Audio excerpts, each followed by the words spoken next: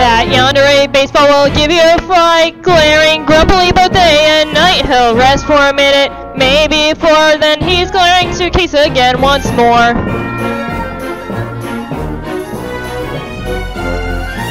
He don't care about nada, not zilch, no, nothing. Except his love for nickel and suitcase's destruction. Now wait just a minute, there's another side to this. And if I did not defend him, then I would be remiss. He does know she had a good reason to. He's just saying the fact that he both loves them. Ooh. Oh, give me a break, you're being too kind. This beast, he has a one-track mind. His game is not his killing floor. But does he think what others think for? No, he does not. And that is just a fact. Baseball, he simply doesn't know how to act. That's where I have to disagree. He likes them as much as my friends like me. Wishing good both far and wide. You see him coming, you'd better run and hide.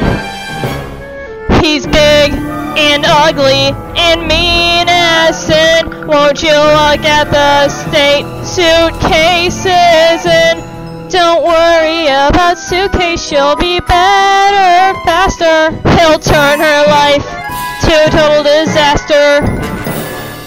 Well, I for one don't have a doubt this monster must be stamped right out. I second that he has to go baseball, he has to hit the road. It comes down to just one simple fact. He's crossed the line, it's time to fight him Stop back. baseball, stop baseball, he shouldn't be in the show at all. Stop baseball, stop baseball, he shouldn't be in the show at all. Stop baseball, stop baseball, he shouldn't be in the show at all. Yes, it comes down to just one simple fact. He's crossed the line, it's time that we attack.